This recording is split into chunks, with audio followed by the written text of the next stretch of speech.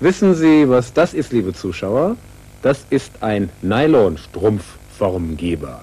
So, dachte man sich damals, sieht das Durchschnittsbein der deutschen Frau aus. Eine nackte Augenweite. Nylons waren in den ersten Nachkriegsjahren auf dem Schwarzmarkt ein begehrtes Tauschobjekt, doch eben made in USA. Da wir vor 40 Jahren aber einen regulären Staat erhielten, wurden wir nun auch in Sachen Nylon souverän. Nun durften wir die Dinger selber produzieren. Eine willkommene Überraschung aus Amerika. Strumpfwirkmaschinen für deutsche Nylonstrümpfe im Rahmen des Marshallplanes. Da die Verarbeitung des Nylonfadens von der Temperatur und Feuchtigkeit der Luft abhängig ist, sind die 18 Meter langen Maschinen mit einer Klimaanlage versehen.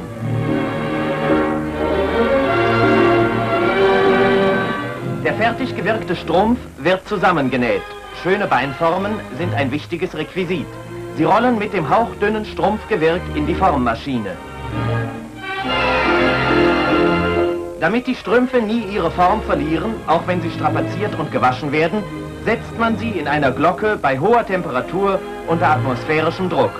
Nylonstrümpfe aus Deutschland. Ein Wunschtraum jeder Frau wird Wirklichkeit.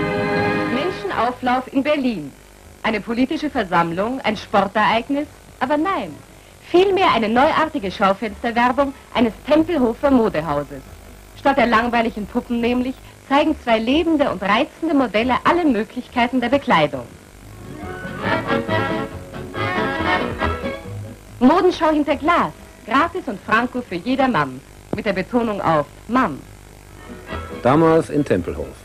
Vor 40 Jahren, liebe Zuschauer, genau am 1.10.49 war die Schlagzeile im Berliner Tagesspiegel Bundestag erklärt Berlin zum Bundesland.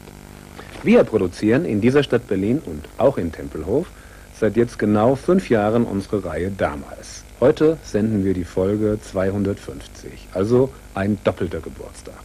Und da gönnen wir uns gerne selbst mal einen musikalischen Salut, natürlich zeitgemäß. Vor 40 Jahren tourt ein Mann mit der Trompete durch Europa, der schon damals legendär war. Satchmo. 1.10.49, der US-Bürger Louis Armstrong in der Schweiz. Schönen Sonntag, bis zum nächsten Mal.